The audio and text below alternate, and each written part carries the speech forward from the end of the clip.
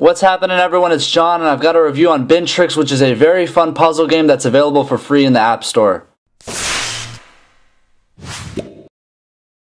Alright, so upon launching the application, you are going to get the main menu, which I really like. It's nice and creative, nice and colorful. You've got your main options here, Classic, Challenge, and Store. Classic is basically the gist of the game, which I'll show you. Challenge, you can basically play versus other friends using the Game Center, and the Store is going to allow you to purchase power-ups. But we're going to go right into Classic, which shows you my rank, as well as which level I want to start from.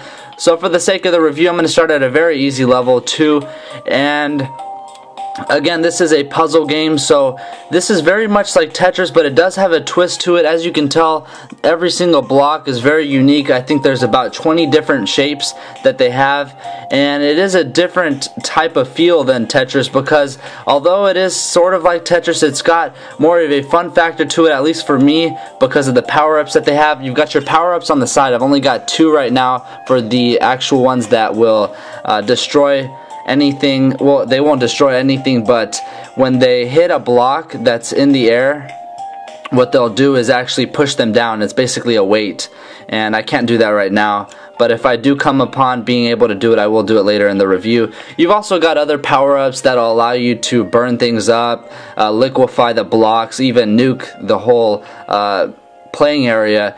And on the left hand corner you've got your actual points that you have and this is what's going to allow you to buy different power-ups.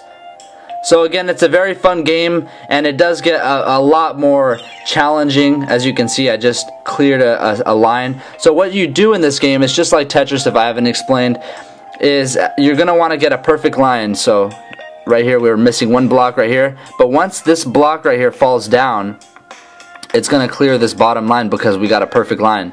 And what I can do is I can just speed that up. And I leveled up. What this uh, tapping the block is going to do is actually change the rotation. This is actually perfect for right there.